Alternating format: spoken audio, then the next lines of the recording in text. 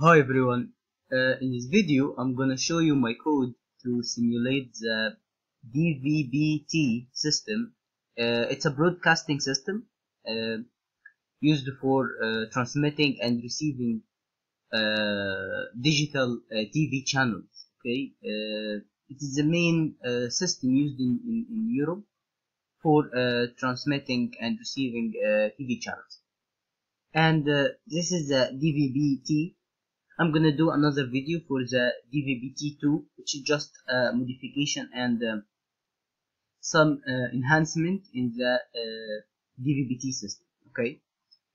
Okay so in this code I simulate the whole system. First you put some parameters and then you uh, uh, there's three main parts in this code. The first is the transmitter and this is the one which uh, takes in uh, the data and then uh, encoded and make it uh, uh, where there is there is the, the source encoder and there is a channel encoder. There is a lot of steps okay? And make it ready for transmission.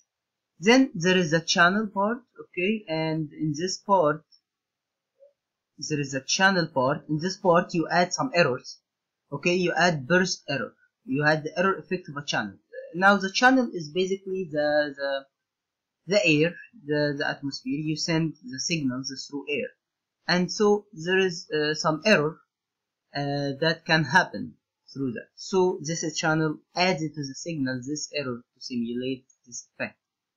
Now the receiver, the third board, is the one which takes the signal and decode it again to get the message. And the message here will be an image. We will use an image as um, uh, a way to simulate this process.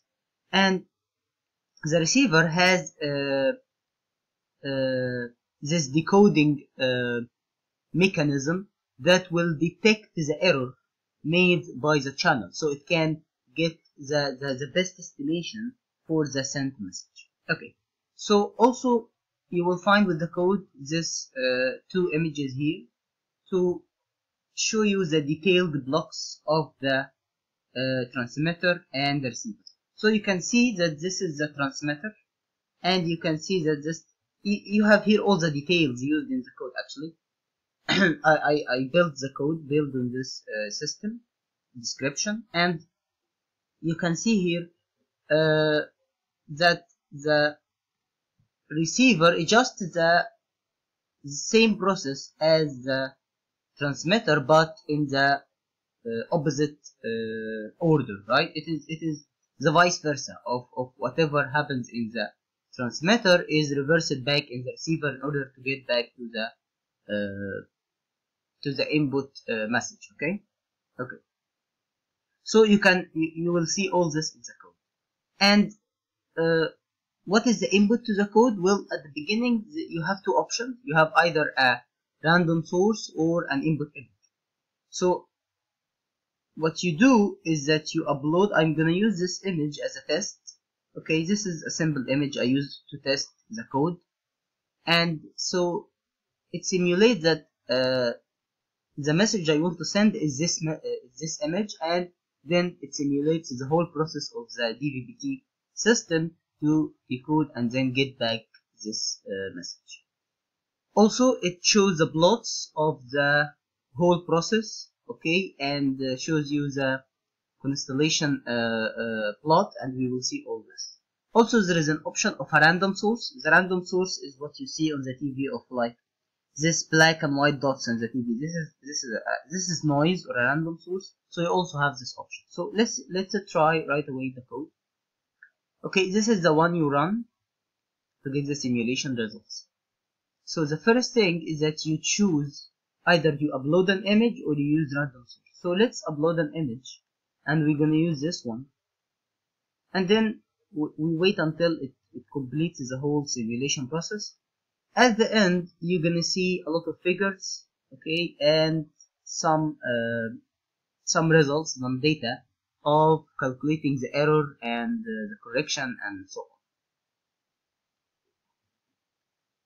Okay, so it takes some time to simulate the whole thing from the transmitter to the, to the channel and then the receiver and so on. Of course you can use another input image not, not this one you don't have to use this one. I'm just using this one as a test. You can use uh, any image you want. But of course as the image get bigger and bigger with more pixels it takes uh, more time simulation. But uh, as it gets smaller so less data in the message of course it will take less time.